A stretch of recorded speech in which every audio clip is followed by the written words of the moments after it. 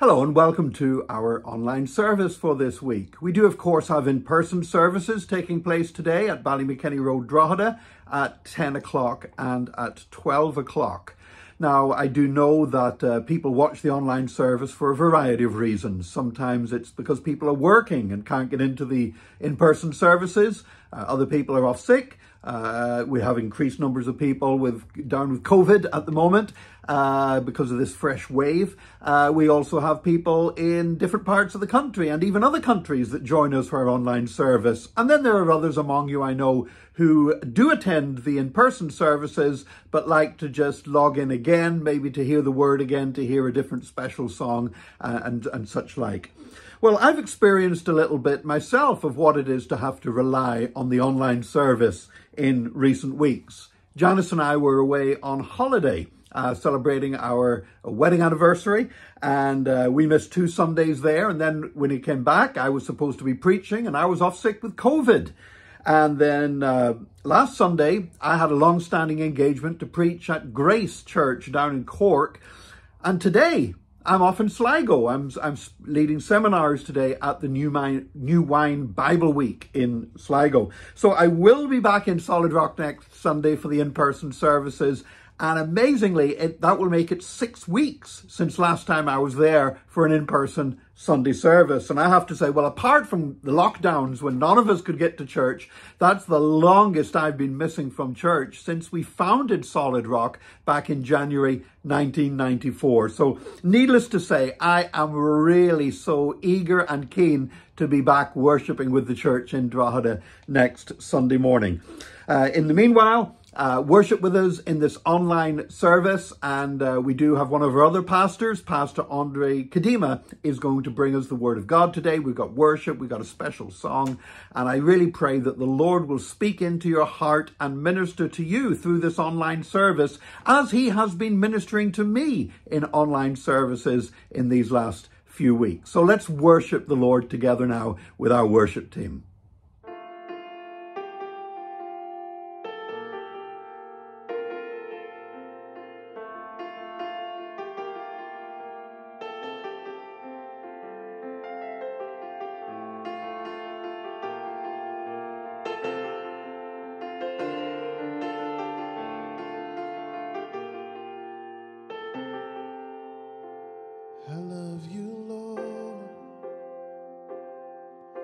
Your mercy never fails me. All my days I've been held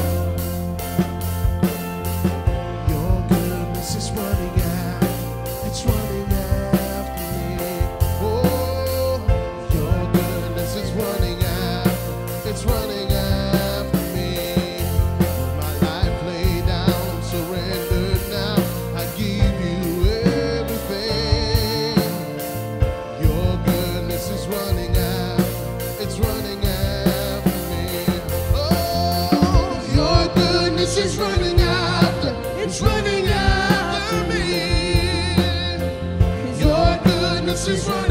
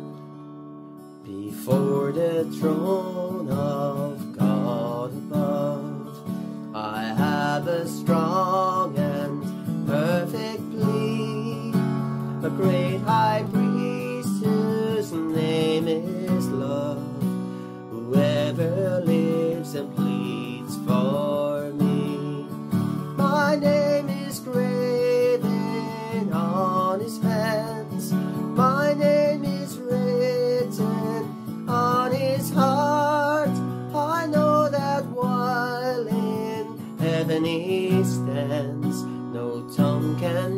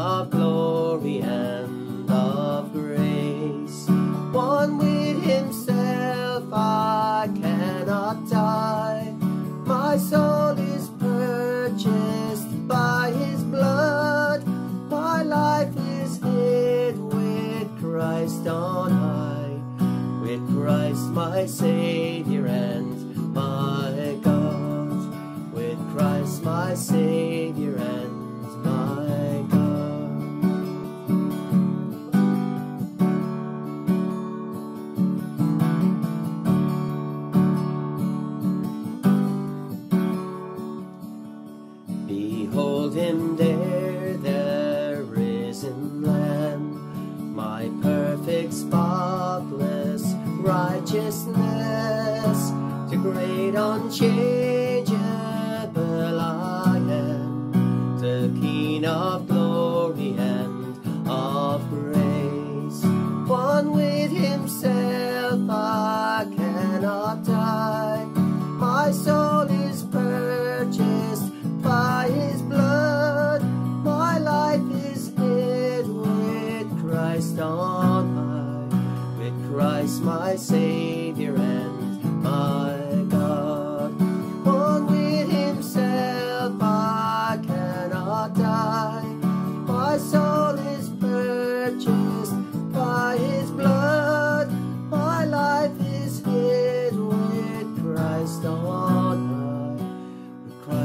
my Savior and my God. With Christ my Savior and my God. I titled my today's message, Fear God, Not Man. The world we live now has never been so prosperous, so advanced. So we see it in in the areas like you know uh, research or health, technology, informations, etc. For uh, for example, today we have access to information like never, never before. You can choose to watch, you know, the news on RTE, um, you know, BBC or Sky, uh, or other uh, independent broadcasters on YouTube, you know, to help you shape an opinion. Now, this should bring us long lasting joy, right? That's not what we see looking at the society of the developed countries.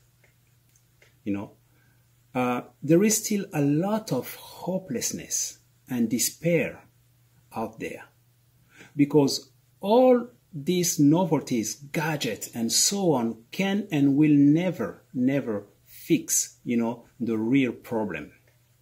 And the real problem is a heart problem. Heart problem that only God can fix. Only through Him can we find rest, peace, hope, and everything that we need to give us true joy. Although there are uh, novelties and progress in many areas, we notice um, current phenomenon that you know should make us reflect. It's the and disguised, you know, attack on the church, uh, the Christians, and on the message of the gospel. And the goal of all this is to silence, is to silence by intimidation, um, you know, violence or death um, in some case. To choke the truth message of the gospel and, you know, to silence the influence of those who proclaim it. That's the goal. A few years ago, uh, you know, when we heard on attacks on Christians and the gospel, uh, it often came from distant land, distant land, you know, the Middle East or China, uh, Muslim countries, etc. And this is still the case today.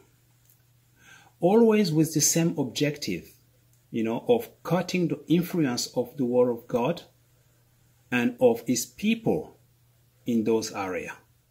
That's the reason uh, why Solid Rock, as a missionary church, uh, continues, you know, to, to work and support our brothers and sisters uh, who are facing persecution all around the world.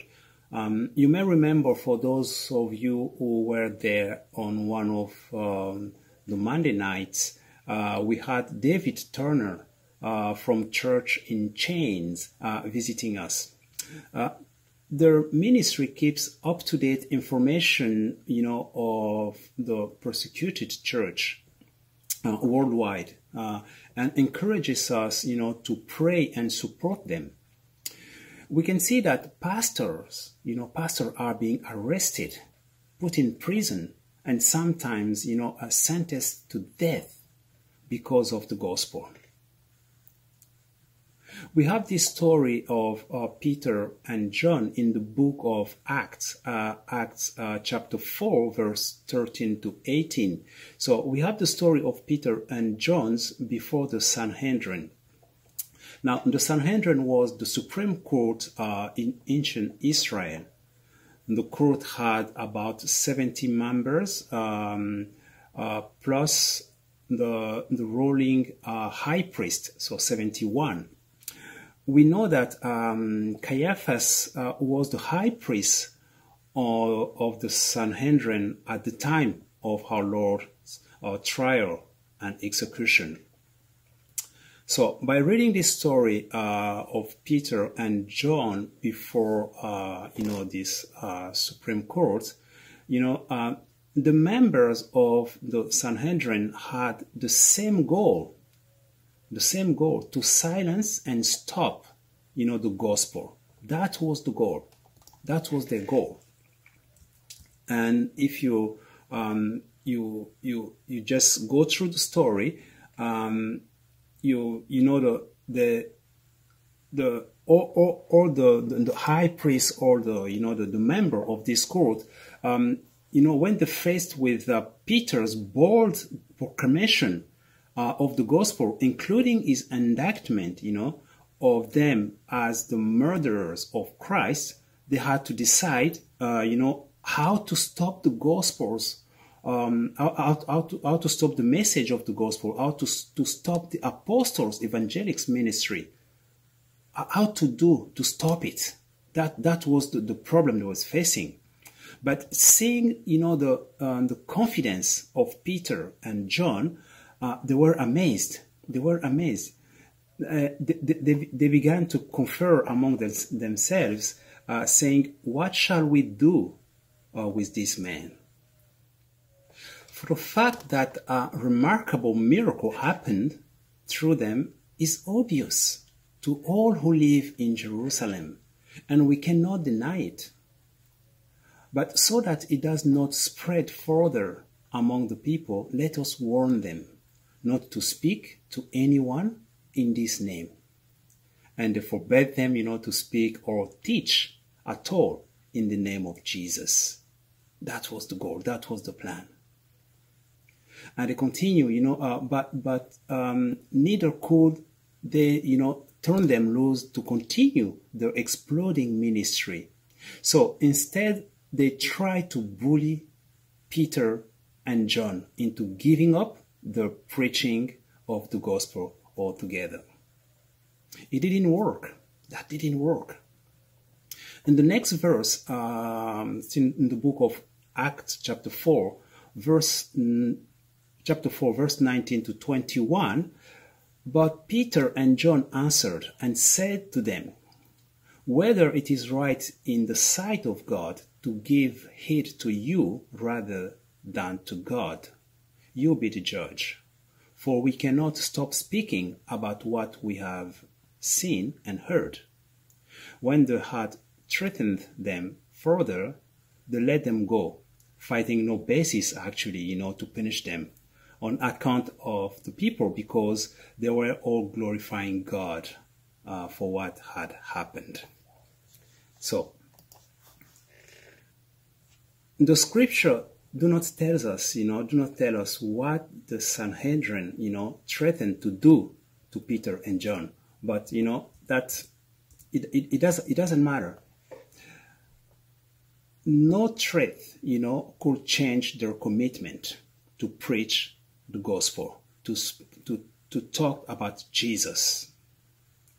The apostle, you know, defied, you know, the court by appealing. That's why that, that, that, that's just amazing. You know, they defied the court by appealing to the very authority uh, and the Supreme Court and the Sanhedrin was supposed to represent. This supposedly, you know, an educated and an entrained man um, had confounded and exasperated, you know, Israel religious elite. You you might wonder if uh, in, in, in this um, this situation, uh, if Peter's response here contradicts um, what he, he would um, later write in his first epistle, um, you know, when he says uh, in First Peter chapter two verse thirteen, uh, when he said, "Submit yourselves for the Lord's sake to every human institution." In that passage, um, he goes on to explain how it is uh, ultimately the Lord who put authorities uh, in place, and that your faithful submission to the gospel builds up, you know, the credibility of your testimony. But when that authority commands you, you know, uh, ask you, force you to stop speaking the name of Christ, in the name of Jesus, uh, you know, um, to stop teaching, uh, you know, the message of, of, of Christ. When that happened, you know, if this same authority um, ask you to stop preaching or to do something immoral, something unjust uh, or uh, unrighteous, you cannot obey you can just not obey. As Peter himself would later, um, later on explain to uh, the Sanhedrin on another occasion uh, in, the, on, in the book of Acts, uh, chapter 5, verse 29, we must obey God rather than men.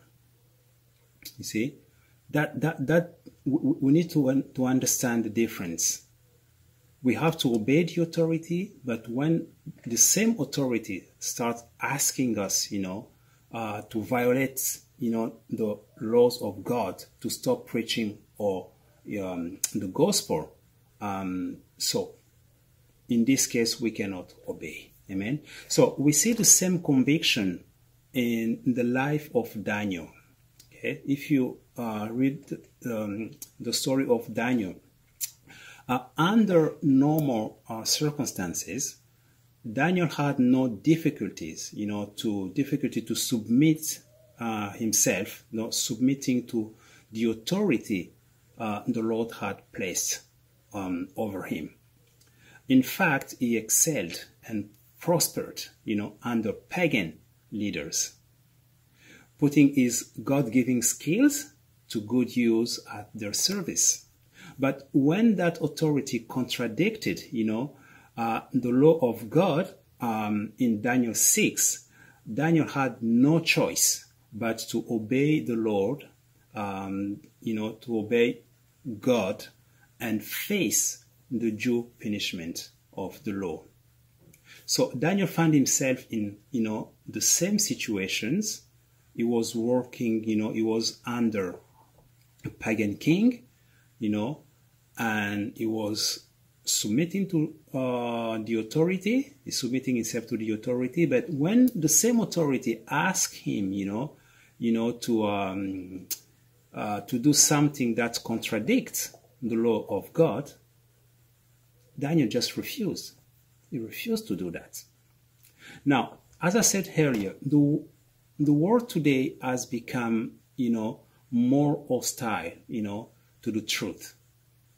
You know, you can see it, you can hear it, you know. Um, uh, it may not be long, you know, uh, before more Christians face, you know, similar consequences for preaching the gospel. Uh, I want us to realize that, you know, the stories we used to hear from uh, Muslim communist countries, etc., now are happening in Western countries. We are talking about countries built upon a Christian principles. Just go read, you know, um, some of the Irish or American Constitution. God has been the foundation. The Irish Constitution even talks, I was amazed about that, uh, talks about Jesus Christ. Now look at what is happening today. We now have laws in place preventing the teaching of the Bible in the classroom. For those who work in hospital, you know, um, it is forbidden to preach the gospel. I even saw a video on Facebook where uh, guards were arresting a group of people preaching the gospel on the street in Dublin. They didn't, you know, the guard, they didn't state a reason, but it make it makes you wonder. It makes you wonder. These are the sort of things that make us, you know, realize that we are being more and more persecuted. There was a recently um, a case in the U.S. Supreme Court uh, of a Christian uh, football coach that lost his job uh, for praying with players after games. So his name uh, is Joseph Kennedy, and this man's job was suspended uh, because he refused uh, to stop praying on the field making an appeal, you know, um, after making an appeal in 2016, the Supreme Court, you know, ruled that the school had violated the constitutional right of the coach and he won his case. These are just some examples. So we have a lot of examples, but just just some some of them uh, I want just to to uh, to throw them. Um, that you know there is opposition to the gospel in the Western world now. There is um, battles going on. The enemy now is not hiding anymore, you know. Um, so he want to silence, he want to silence Christian. He want to silence, you know, to kill, to choke the message of Jesus Christ. And we, we need to be aware about that. So what does that tell us. We need to be uh, resolved not to cave into the pressures of society or even you know uh, to fierce persecution and violence. So we need to have the same attitude as on the apostles peter and john when persecution comes or you know when we are silenced uh, we cannot give in you know to the pressure or fear. We need to faithfully obey god no matter the cost. We need to obey god. I believe we are you know living in the end times you know. The lord is coming soon. For those who are still playing church uh, who claim to know god but you know with uh, their actions uh, deny the power of it. as we can read in the, the book of Titus, chapter 1, verse 16. The time has come, you know, to put things in orders. To put things in order in your walk with the Lord is very important. When Jesus comes, you know, he will take us by surprise. Will you be ready? Church, will you be ready? Now is the time, you know, to decide to work with God and not to work in the fear of man. We must stay strong in the Lord, church. We must stay strong. Do not be afraid, you know, um, the, the, the Bible tells us, do not be afraid of those who kill the body, but cannot kill the soul. Amen. Rather, be afraid of the one who can destroy both soul and body in hell. That Matthew's chapter 10, verse 28. There might be a lot of oppositions, that for sure, a lot of oppositions. And, you know, uh, it, it will become harder and harder.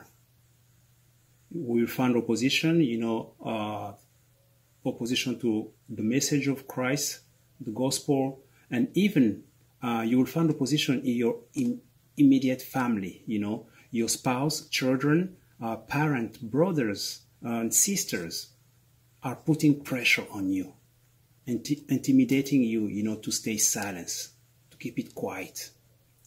Maybe they no longer welcome you, you know, or maybe they, they laugh at you, you know, at you for, for your belief. That's maybe something you you are going through. I, I want just to encourage you, church. If it's you, don't give up. It might be very hard and painful, but your reward will precede you in heaven. Be strong. Trust in the Lord. Amen. That doesn't mean that you know you you have to go outside straight, you know, uh, straight away and then start shouting the name of the Lord on the street. No, that that, that that's not really what what, what I mean. Um, the Bible teaches us, you know, to be wise. To be wise. What I mean is that you should first pray and ask God. Amen.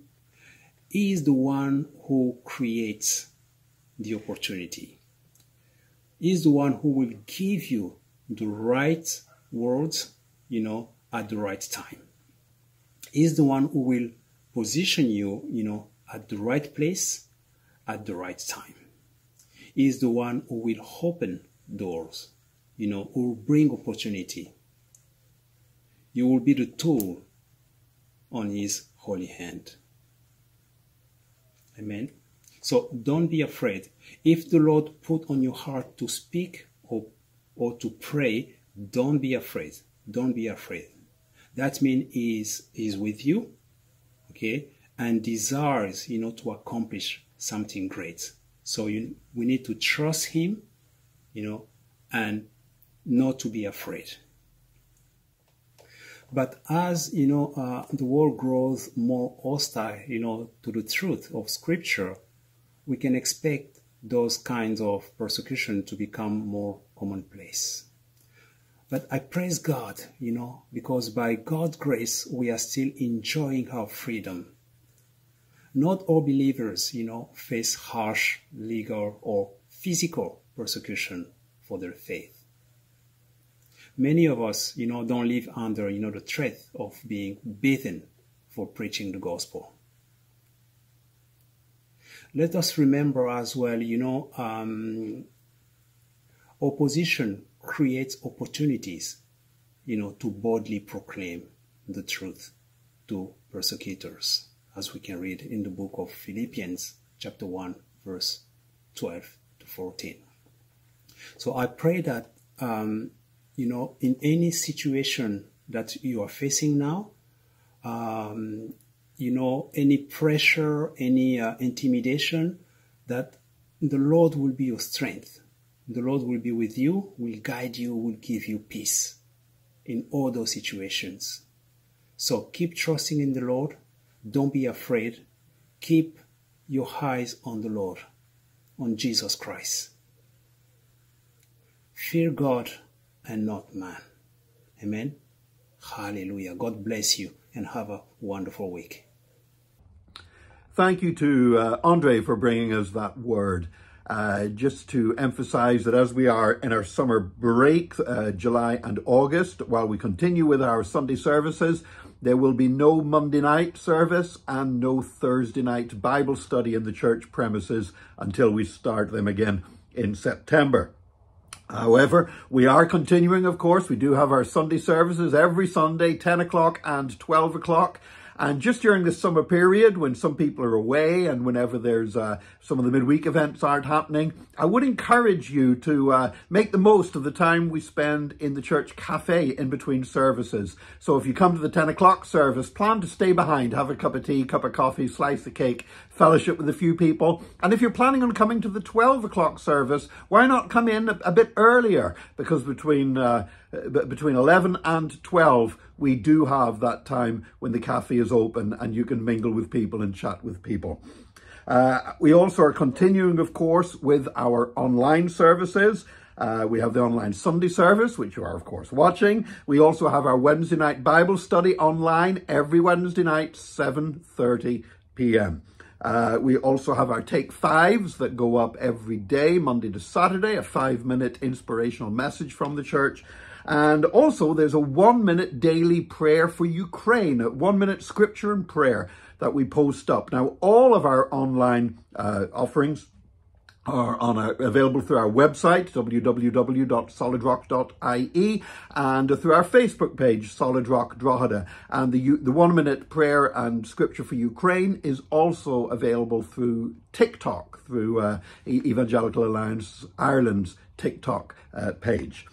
So uh, we are also continuing with our 24/7 prayer. Uh, that's one of the one of the subjects that I'm teaching on up in the Bible Week in Sligo because what God is doing through prayer with our church, with this continual unbroken prayer for over two years, is now beginning to really be noticed by other churches around the nation that are wanting to do something similar. So we are continuing with our 24/7 prayer, and you can log on for an hour on that. Uh, you, you you can log on to the Rota through our website or through the link that's on our Facebook page as well. I want to thank everybody who is giving to the church. Most of you give online and the IBAN, the BIC number, and that, that's all up on the screen if you want to give online. You can also give by PayPal. There's a link for PayPal on the church website. Or if you come to the in-person services, we have offering boxes on the back walls and you can give by putting your, your tithe or offering into an envelope and dropping it into the offering box as well. Uh, simply uh, want to say thank you, however you choose to give. Thank you for your incredible faithful support for the work of the church and for extending the gospel of Jesus Christ. And it simply remains now for me to close by, uh, by saying the grace together. And now may the grace of our Lord Jesus Christ and the love of God and the sweet fellowship of the Holy Spirit abide with us now and forevermore. Amen. And surely goodness and mercy shall follow us all the days of our lives, and we shall dwell in the house of the Lord forever and ever. Amen.